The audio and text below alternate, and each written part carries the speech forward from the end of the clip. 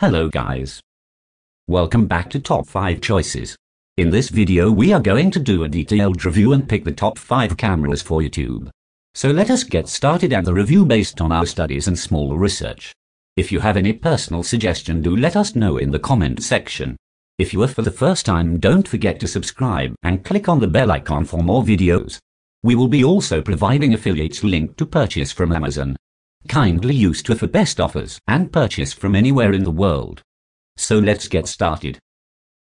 The ZV-1 is a small camera, just 2.4 by 4.2 by 1.7 inches and 10.4 ounces. Its lens doesn't completely retract into the body, it juts out a little bit, but it's compact enough for most pockets.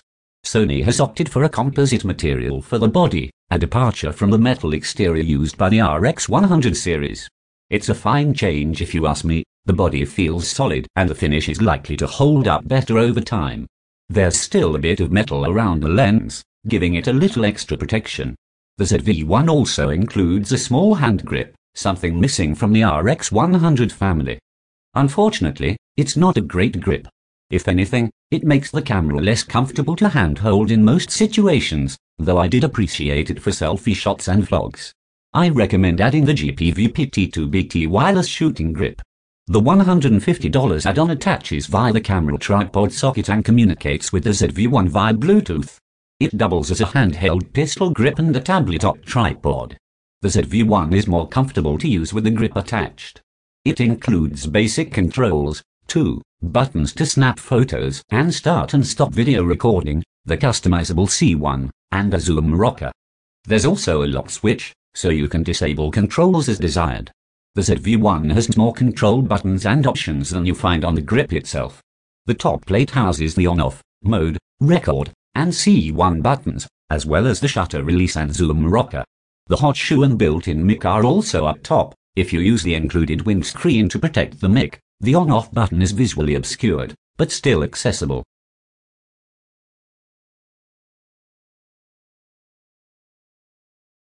The EOS M6 Mark II comes with a price tag that's decidedly not entry level, just $50 less than the Sony a6400 or Fujifilm X-T30, two cameras that are all but equal, and our editor's choices for shoppers looking in this price range. But it's missing one big feature offered by the competition, a built-in viewfinder, a design choice I think is a misstep. You can add an external viewfinder, but it's a bit of a clumsy solution that makes the whole thing bigger than it would be if one was in the body.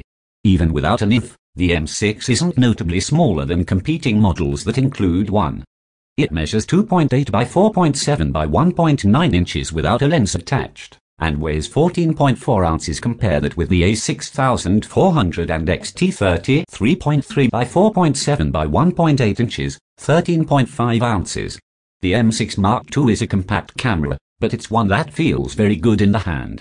The hand grip isn't quite as deep as I'd want when pairing with a big lens, but to date every EF-M lens has been positively svelte. It's something to consider if you're a Canon SLR owner thinking about using your existing lenses via the EF-EOS M adapter. I used the camera with the EVF attached when working handheld, but took it off and relied on the rear LCD when seeing how the body handles on a tripod. I love the tilting design of the LCD, and its touch interface. The EVF DC2 doesn't offer tilt adjustment. The EVF DC1 does, and it works with the M6. But its tech is older, it uses an LCD panel, rather than the DC2 single quote S old, which isn't good for tracking fast action.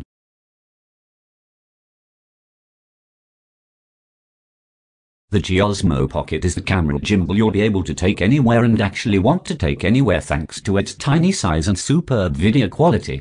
Its 4K 60fps capable camera and one-shaped gimbal handle is no bigger than a fun-size candy bar.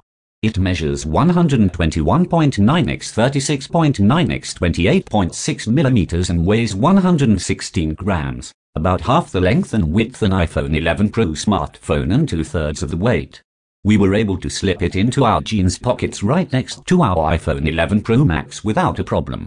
It's not just small, it's one-hand friendly, too, with a non-slip, sweat-proof grip.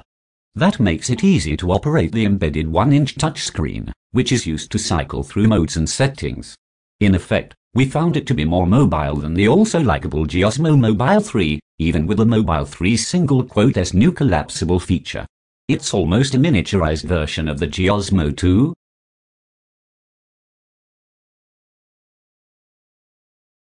The Lumix GH5S isn't too different from the GH5 in terms of design. The layout of the buttons is pretty much the same as on last year's model. There's a healthy selection of six programmable FN buttons all around the camera, plus you can assign shortcuts to the control dial at the back, and even add some more to the right side of the on-screen menu. The body doesn't feel too heavy by itself, but snap on a lens, and it does get bulky. We really like the grip that the GH5S offers. The hand grip is quite thick with ample rubber cladding, so even those with large hands will find it comfortable to hold. The shutter button lines up well with your index finger, and has reassuring half and full press feedback. There are dials on the top and the back of the camera for changing settings when shooting. The GH5S also has a joystick for flipping through photos in playback mode or adjusting the focus area.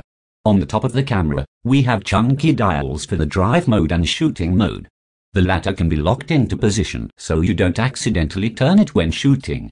The arrangement of the drive modes is the same as on a GH5, but it should be noted that the GH5S offers 4K burst shooting versus 6K on a GH5, due to its lower resolution sensor. There's no built-in flash but there is a hot shoe for attaching an external one. You get an old electronic viewfinder, which delivers a 100% field of view. A sensor lets you automatically switch between the LCD screen and the EVF by bringing the camera to your eye. The EVF's 3.6 million dot resolution produces really crisp images, and you can opt for a 120 fps refresh rate rather than the default 60 fps, for more fluid motion.